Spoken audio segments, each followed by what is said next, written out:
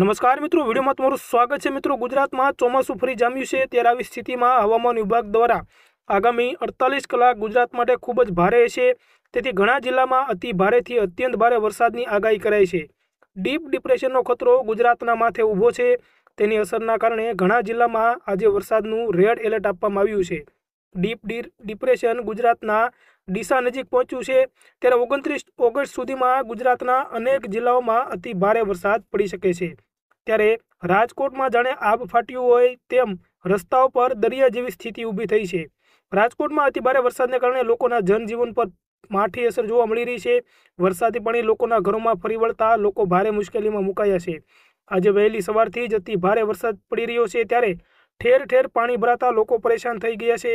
રાજકોટમાં છેલ્લા ચોવીસ કલાકમાં નવ ઇંચ વરસાદ નોંધાયો છે. ત્યારે લોકોના ઘર પાસે પાર્ક કરેલી ગાડીઓ પણ પાણીમાં ડૂબી ગઈ છે. ત્યારે ભારે વરસાદને પગલે ગુજરાતમાં એસટી વિભાગ પણ પ્રભાવિત થયો છે. ગુજરાતમાં હાલ ભારે વરસાદ વરસી રહ્યો છે, જેના કારણે એસટી વિભાગ પ્રભાવિત થયો. તેત્રીસ રૂટ બંધ કરી દેવામાં આવ્યા છે, જ્યારે બે હજાર એક્યાસી ટ્રીપ કેન્સલ કરાઈ છે. જોકે છોટાઉદેપુર, પંચમહાલ, દાહોદ અને મહીસાગરના રૂટ ખોરવાયા છે. મુશળધાર વરસાદથી રાજ્યના અનેક રસ્તાઓ બંધ થયા છે.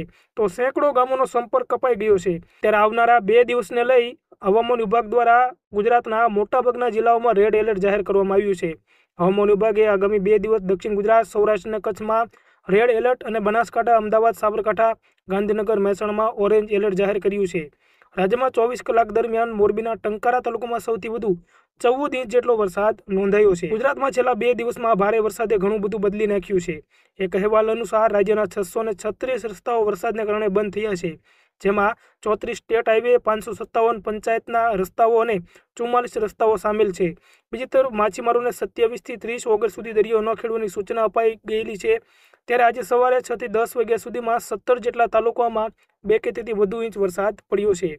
ત્યારે સાઠ કિમી પ્રતિ કલાકની ઝડપે પવનો પણ ફૂંકાઈ રહ્યા છે. છેલ્લા ચોવીસ કલાકમાં ગુજરાતના અનેક ભાગોમાં ભારે વરસાદ થયો છે, જેના કારણે નીચાણવાળા વિસ્તારોમાં પાણી ભરાયા છે.